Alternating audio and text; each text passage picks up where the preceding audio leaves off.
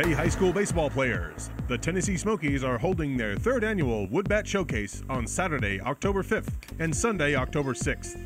The Woodbat Showcase is for 2014 or 2015 high school players or any 2013 player who has not signed a college scholarship. The showcase is by invitation only, and the players must have a recommendation from a professional scout, high school coach, or college coach.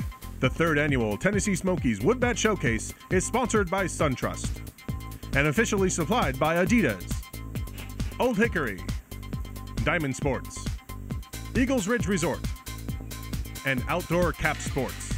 Slots for the Woodbat Showcase are filling up quickly, so sign up now. For more information, call 865-286-2300 or visit smokiesbaseball.com slash woodbat.